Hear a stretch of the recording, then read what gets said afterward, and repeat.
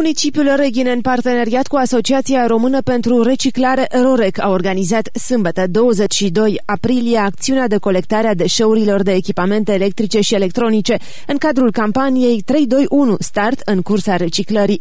În cadrul acesteia, reghinenii s-au debarasat de aparatură electrică și electronică veche sau defectă din locuința lor și au depus-o la punctul de colectare provizoriu din incinta școlii gimnaziale Alexandru Ceușianu.